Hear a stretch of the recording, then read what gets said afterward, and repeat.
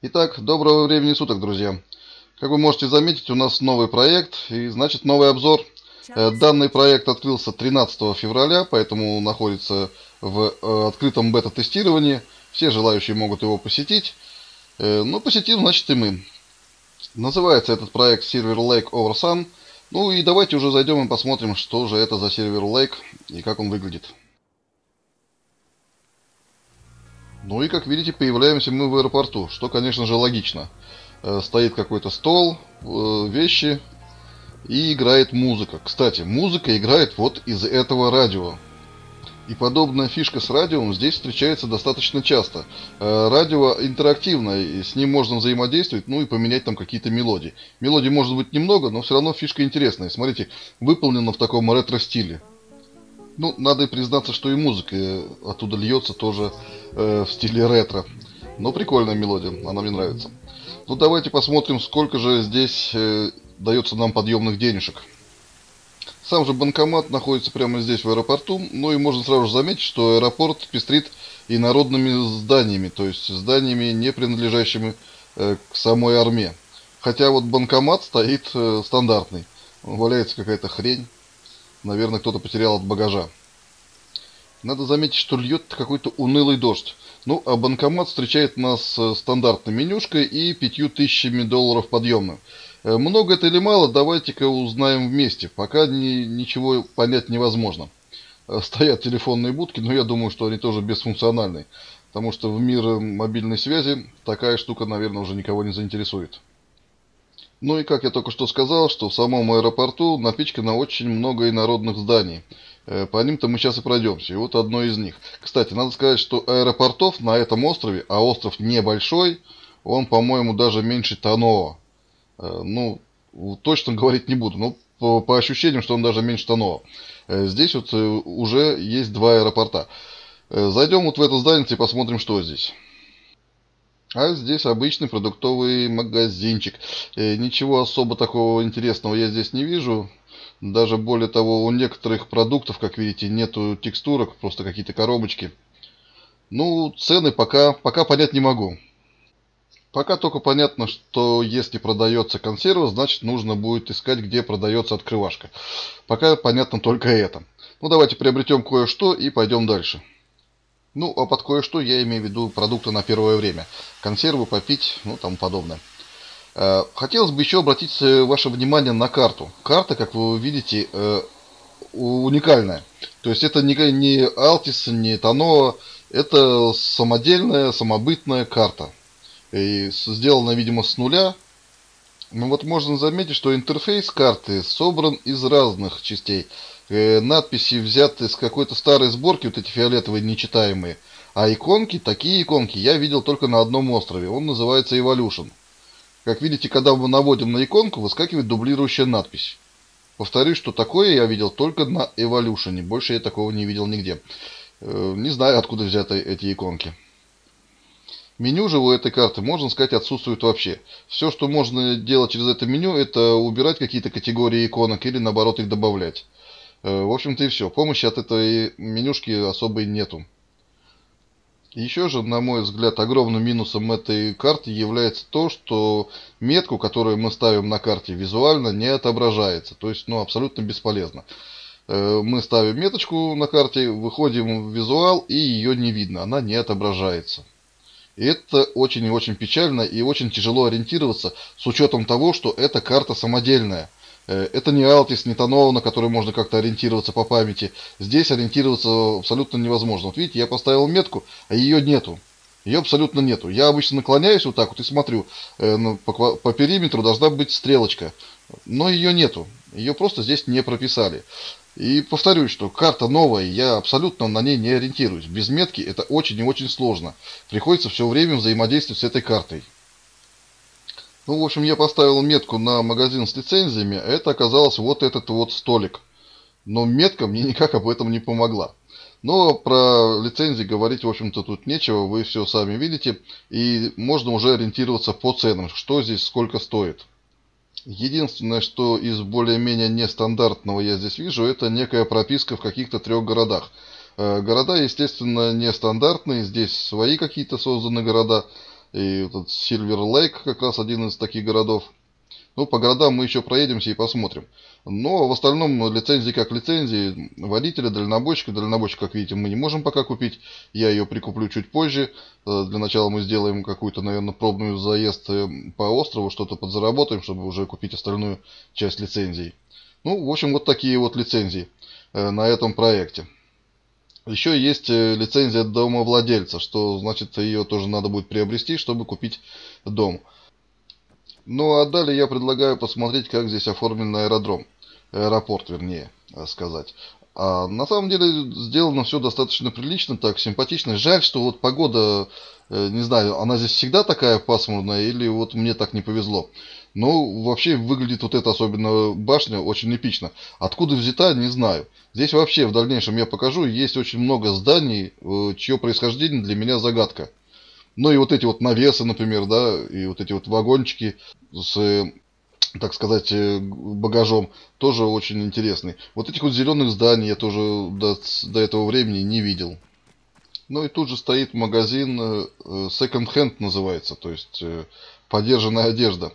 И надо сказать, что одежды-то ну, достаточно огромное количество. Действительно огромное количество. И есть одежда, которая, в общем-то, мне понравилась. Вот, например, вот этот черный комбинезончик мне очень приглянулся. Он очень прикольно смотрится с кепкой, э, которая выглядывает из-под капюшона. Ну, это мы увидим потом. А пока вот такая вот одежда. Да, очень много стандарта, очень много стандарта, но попадаются и какие-то более-менее уникальные э, виды костюмов, одежды. Ну, в основном, конечно, то же самое, что и на остальных проектах. Уж совсем что-то новое ожидать, наверное, в ближайшее время не стоит. Э, так как э, эти проекты и так уже на самом деле дышат наладом, поэтому ну, вряд ли мы увидим в ближайшее время в каком-то из проектов абсолютно новые костюмы. Они переходят из одного проекта в другой, в общем-то, ничего очень так глобально не меняется. Но количество одежды радует, да, оно большое, большое количество. Но может быть, э, я бы даже сказал, велика вероятность, потому этот магазин и называется Second Hand, потому что здесь собрана практически вся одежда со всех проектов. Ну, как вы сами видите, да, я мотаю, мотаю, мотаю, одежда все не кончается. Может быть, здесь есть где-то и магазины какой-нибудь элитной или виповской одежды. Это мы еще посмотрим. Хотя надо сказать, что в мои планы не входит шляться по магазинам с одеждой и смотреть или искать какие-то уникальные штуки. Мне больше хочется посмотреть, что вообще на этом проекте есть уникального. Может быть, какие-то собственные наработки. Ну, в общем, посмотреть уникальность этого проекта. Вот что мне хочется. Ну, а одежда, как вы видите, все не кончается и не кончается. Я уже начал мотать очень быстро и уже перескакивать, но она все не кончается. Надо отдать должное. Да, одежды огромное количество. Но... Э одежды-то количество огромное, а вот, например, аксессуаров типа шапки или очки или там перчатки здесь э, отсутствуют вообще, как вы видите. Но их здесь нету. То есть эти графы вообще здесь не заполнены. Но рюкзаков тоже большое количество. И как я уже всегда говорил на всех э, своих обзорах, вот как понять, какой рюкзак тебе надо купить, абсолютно непонятно. Я всегда ориентируюсь на цену. То есть если дорогой, то скорее всего вместительный. Хотя это вообще не факт. Э, на одном из проектов я купил дорогой э, рюкзак, а оказалось, что надо было брать не такой огромный, я взял большой огромный рюкзак, а оказывается, надо было брать не такой. Ну, это я уже узнал, общаясь э, с жителями того проекта. Вот. Ну, в общем-то, вы видите такое вот количество рюкзаков, их сумок здесь присутствует. Вот, кстати, вот такая сумочка прикольная, мне понравилась. Не знаю, ну, сейчас я не хочу ничего покупать, потому что мы сейчас пойдем и посмотрим почтовую службу, а там рюкзак как раз и не нужен. Вот. Но перед тем, как мы пойдем искать, где она здесь находится, почтовая служба, э, зайдем еще в один магазинчик, э, который расположен здесь же в аэропорту. Вообще здесь в аэропорту очень много магазинов, по-моему, все магазины, какие его есть, они представлены здесь в аэропорту. То есть бежать в ближайший город, в общем-то, нужды никакой нету. Здесь мне понравилась вот эта вот видеокамера, ну или фотокамера. Зачем, э, объяснить не могу. А мне понравилось то, что невозможно крутить модели. И зачем магнитушитель, тоже пока объяснить, наверное, не смогу. Ну а дальше, как, э, наверное, стандартный набор идет. Что-то мы сейчас тоже возьмем. И, как видим, есть прибор ночного видения. Хотя, забегая вперед, скажу, что прибор ночного видения здесь особо и не нужен. Ночи здесь сделаны не темные такие. Ну, они темные, но, э, в общем-то, э, видеть можно все и без прибора ночного видения. То есть тут ночи не такие, что прям уж чер, черна, чернотень. Нет, все нормально. Э, канистрочки продаются, ну и вот инструментарий, да, который нам говорит, что здесь к чему нужно. То есть, значит, плоды мы будем собирать тяпкой, ну, песок лопатой, естественно, ну и тому подобное. Но э, единственное, что можно было понять, кстати, смотрите, стена стоит прямо за стеклами, стена соседнего здания. Э, плодово-овощные культуры, значит, собираются не руками, а тяпкой. Ну, а здание, которое мы видели через окно, это вот здание каршеринга. Здесь, к сожалению, представлен всего один автомобильчик, ну, а цена его, вы ее сами видите.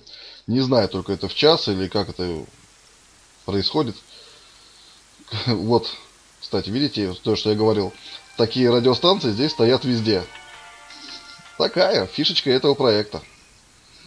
Ну и тут же рядом, точно в таком же помещении, только, как видите, уже с подъемником и с каким-то простецким набором инструментов, э, находится, как вы думаете, что? Правильно. Магазин автомобилей. Хотя антураж сделан, как будто это автосервис. Ну, вот такое вот количество автомобилей здесь присутствует. Э, ну, я бы не сказал, что их много, и они какие-то все однообразные. Хотя есть и машинки, которых я не видел. Вот есть, кстати, мопедка. Не видел, вот честно скажу, такой мопедки я ни разу не видел. Масюсенькая такая, интересная моделька. Ну, есть машинки, которые я еще не видел, ну, может быть, просто не обращал внимания. Да я уже, ходя по этим проектам, столько всяких машин пересмотрел, что уже что-то в голове не откладывается. Ну вот, например, такую машинку я что-то не могу припомнить. Ну, естественно, что покупать мы ничего здесь сейчас не будем, потому что просто нету денег, да? Ну и вот еще раз, как это выглядит. Не очень антуражно подобрано под автомагазин. Ну а в общем-то остальную технику я показать вам сейчас не смогу, потому что здесь, как и на большинстве э, подобных проектов, чтобы что-то увидеть, нужно купить лицензию. Без лицензии вам, к сожалению, ничего нигде не покажут. Э, я считаю это абсолютной глупостью, но вот на этом проекте это сделано так. Ничего с этим не попишешь. Пока не купишь лицензию, ничего не увидишь. Ну а далее меня привлекла вот эта башня. Мне так захотелось зайти в нее и посмотреть, э, как это устроено. Ну, тут меня постигла, опа, вот такая вот ситуевина. У башни-то, оказывается, и нету модели, одни текстурки наложены, да и все. В общем, через нее можно проходить. И здесь, э, к сожалению, а может и к счастью, я не знаю, э, подобных э, объектов очень много, через которые можно просто так побегать. Хотя вот вообще антураж аэропорта мне понравился. Ну, прикольно сделано, прикольно, что ж говорить. Ну а мы в тем временем возвращаемся в здание, облитое зеленкой, чтобы взять машину в аренду. Ну, она одна, поэтому ее единственную и берем. Ну, появляется она прямо здесь. Ну, я считаю, надо сказать, что сделана она достаточно неплохо. Такие симпатичные текстурки, есть округлости некие. Симпатично сделана машинка, симпатично. Э, приборчики рабочие, кстати говоря. Э, руки не заламывает, как на многих таких моделях. Видите, работает подсветочка. Ну, все дела, в общем. Выезжаем. Вот звук, к сожалению, мне не очень нравится. И уж очень-очень сильная тонировка. Ну, практически ни хрена не видно. Может быть, в ясную погоду будет и получше, но пока, ну, просто можно смотреть только вперед. Право-лево для нас не видно. Ну, а звук вы слышите. Ну, он глушит на самом деле. Это я сейчас еще звук убавил, а он все равно глушит. Звук неприятный у машины. Вообще в армии э, редко встретишь машинку, которая ну, с приятным звуком. Хотя они есть, я не говорю, что их вообще нету. А вот еще, кстати, что мне понравилось на этом проекте. Посмотрите, какая широкая дорога. И это еще не самая широкая дорога. Здесь есть магистрали в 4 полосы. И это, ну, это меня действительно сильно порадовало. Дорога, правда, неровная, но, блин, но она широкая. А вот и та, о которой я говорил, смотрите, четыре полосы. И, кстати, мы уже въехали в населенный пункт. Они здесь выглядят вот так.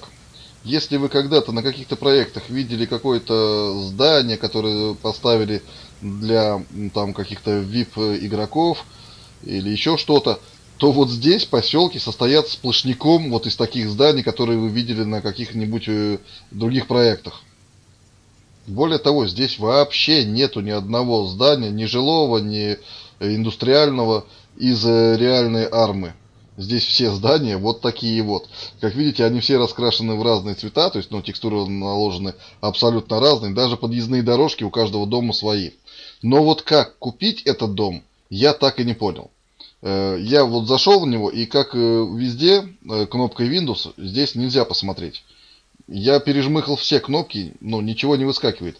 Как купить здесь дом, я не понял. Я шлялся по комнатам, я шлялся по гаражам. Я даже подумал, что здесь есть, может быть, какой-то офис, в котором надо оформлять себе недвижимость. Но как ее приобретать, я не знаю. Серьезно. Абсолютно не понимаю. И в дальнейшем я купил лицензию домовладельца, я купил э, э, прописку вот в этом вот поселке Сильвер Лейк, и все равно никак не купить этот дом. Что за хрень, я не знаю. Скорее всего, что еще не прописано это, потому что сервер только открылся, я вам показывал, он 13 числа он открылся, э, то есть ему еще только неделя этому серверу. Э, может быть еще просто не прописано, не знаю, но дома не покупаются. И вот, кстати, несмотря на то, что здесь столько, ну, такое огромное количество левых зданий, да, сторонних от армы зданий, э, FPS держится прилично не проседает. Но этому, я думаю, виной не вот эти здания, а то, что здесь, заметьте, нету травы, очень-очень редкие посадки, нету кустов, э, нету акаций. Здесь, в принципе, нет вообще практически ничего. И очень-очень редкие деревья. Вот так вот выглядят здесь города. Откуда взяты модели этих домов, я не знаю. Не могу вспомнить, видел я где-нибудь такое, не видел. Э, Все уже в голове перепуталось, как каша. Но здесь этих домов огромное количество. И они, кстати, тоже бесфункциональные. Я ходил, пытался нажимать на Windows, пробуя вот как сейчас. Э, продается он или не продается, но нет. Либо я не знаю кнопки, какой действует, э, либо здесь что-то не то. Но не продаются дома, ни в какую. Никакие дома не продаются складывается стойкое ощущение, что автору очень-очень тяжело остановиться. Видите, он начал ставить дом, и все, ему никак не остановиться. Так и пошли дома, одинаковые, одинаковые, дальше, дальше, дальше. То же самое у него и с магазинами. Тут есть улицы, целиком состоящие из одного и того же магазина. Просто они чередуются. Один за одним, один за одним. Целая улица, там, не знаю, километр, наверное, длится один и тот же магазин. Тоже, кстати, интересное здание. По отражению абсолютно видно, что это не с этой игры. Ну и вот слева, видите, магазины. Одни и те же магазины постоянно. И это не единственная улица, их здесь очень много. Одни и те же магазины. Они не функциональные. Их просто очень много. Вот такие вот домишки попадаются. Симпатичные, но абсолютно непонятно для чего. Скорее всего, просто для антуража. Никакого смысла здесь они не несут. Ну, На многих проектах вы видели, как вот в таких зданиях ставятся магазины, да? Здесь они просто чередуются. Посмотрите, все здания, какие вы когда-либо видели на каких-то проектах, здесь стоят просто сплошняком одной стеной. Но это не магазины, это просто антураж. Автор этого проекта собрал все модели, какие только, видимо, были возможно собрать на просторах интернета и закачал их сюда. Ведь видите, одни сплошные магазины, просто улица из одних магазинов – они чередуются, меняются, но это все одни и те же магазины. И это еще, кстати, приводит к тому, что если вам нужно будет найти э, на карте какой-то магазин, вы потыркаетесь во все вот эти. Потому что, как я уже вначале говорил, метка на этом проекте не работает. И эти магазины только вводят вас в заблуждение. Посмотрите, когда-нибудь вы видели что-нибудь подобное? Это жесть. Это жесть. Одни магазины, одни магазины. Пипец. Я таких не видел. Я иногда бомблю, что там несколько магазинов в ряд поставили в центре Ковалы, а здесь просто города сделаны из таких вот сторонних объектов. Ну и да, конечно, на вкус и цвет товарища нет. Но мне это не понравилось вообще жесть. Не понравилось по многим причинам. Э, во-первых, эти здания выглядят как э, какие-то кубики из лего. У них очень чистенькие текстурки. Над зданиями на просторах Армы трудилось огромное количество людей. Естественно, здания сделаны более антуражно и атмосферно. На них есть потеки, трещинки, сколы, э, налет времени. Эти же здания, которые мы видим, они все, как видите, из чисто белых, серых текстур. Э, нету ни ржавчины, ни каких-то сколов. Они не антуражные, они вот э, такие вот, как кубики в лего одинаковые и неинтересные. Да, когда их ставят э, там в той же ковале, например, э, как разнообразие, да, он не выбивается. Но когда из этого делают целый город, из одного и того же объекта, чистенького, красивенького, ровненького, ну, это не придает никакой атмосферы игре. Ну, а мы тем временем, как вы видите, добрались до почтовой службы, и я уже переоделся и положил свою одежду в багажник этой машины, сел в нее, и надо отъехать на какое-то расстояние, чтобы взять задание. И вот здесь кроется следующая э, проблема этого проекта. Как я вначале говорил, здесь не работает метка. Э, карта абсолютно незнакомая. Э, ну, потому что она сделана с нуля, она сделана вот автором этого проекта, мы ее знать не можем. И без метки найти вот эти вот точки, это целая проблема, я вам скажу. Э, приходится очень много рисовать на карте. Ну а чтобы рисовать на карте, вам нужно купить GPS. Без GPS вы ничего э, отметить на карте не сможете. В общем, очень проблематично без метки. Но зато помимо дорог, про которые я уже говорил, дороги здесь классные, да. Дороги хорошие, широкие. Здесь еще есть и разметка, как видите, и светофоры. И светофоры здесь не один-два, а они здесь в каждом городе, чуть ли не на каждом перекрестке. Э, светофоры работают, э, как бы регулируют движение. Э, вот это мне тоже на этом проекте очень понравилось. Ну, а если затрагивать работу вот этого почтовой службы, то, как вы сами видите, это абсолютный стандарт. Это желтая машина, и это вот такие же желтые контейнеры. Э, подходим к ним, взаимодействуем, берем баклажку, ложим в машину, в общем-то, вот и все. Э, здесь ничего интересного, к сожалению, нету. Но эту работу мы берем не для того, чтобы на ней работать, а для того, чтобы посмотреть на этот проект, по нему покататься и заработать каких-то денежков. И вот, кстати, мы сейчас проезжаем чуть ли не единственное здание, которое взято с родной армы. Это вот эти серые ангары. Ну и далее едем в назначенную нами точку, и вот опять то самое шоссе, про которое я уже говорил. Заметьте, какое оно широкое. Четыре полосы, двойная сплошная. Э, на самом деле ехать по нему очень-очень приятно. Э, можно и обгонять, ну, как видите, ну, замечательно. И мне вот кажется, что, например, для проектов, которые положены на базе Алтиса, вот такое бы шоссе э, вообще там бы не помешало. Алтис здоровенная карта, и если проложить вот эту федеральную трассу в четыре полосы, было бы, наверное, очень-очень здорово. Не знаю просто, насколько это вообще решаемо, можно ли так сделать, но было бы прикольно.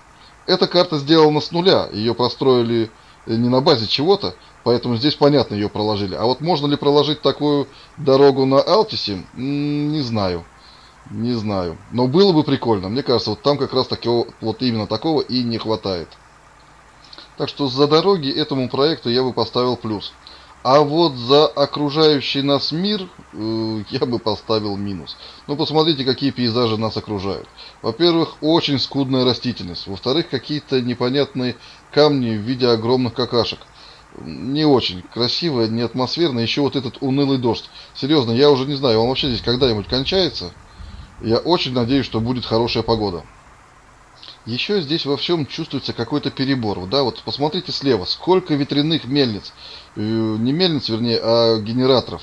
Ветряных генераторов, плюс еще зеркальные генераторы. И всего так много-много-много-много, и их так близко друг к другу посажено. Вот как и города сделаны, очень много одних и тех же объектов. Также сделаны и вот такие вот объекты. Одно и то же, и очень-очень-очень много-много-много-много. Вот видите, он выпирают аж до сюда вот эти зеркальные постройки.